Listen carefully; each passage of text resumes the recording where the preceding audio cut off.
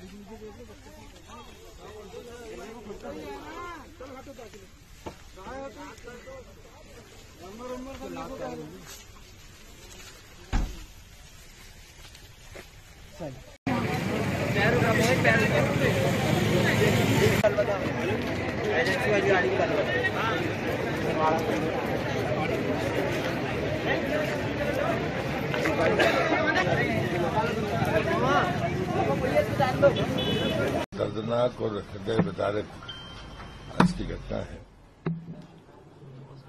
और,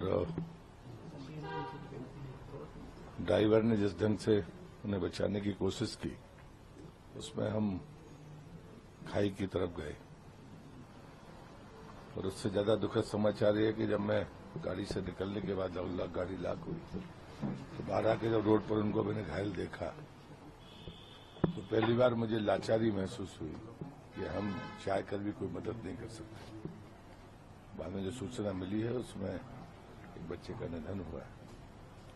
हम अगर उस को नहीं बचा पाए, ये सच है। मुख्यमंत्री जी ने मुझसे बात की है तो उन्होंने कहा कि उनको मदद मिलेगी, लेकिन ये सच है। कि जो परिस्थितियाँ मैंने अपनी आँख से देखी उस दौर में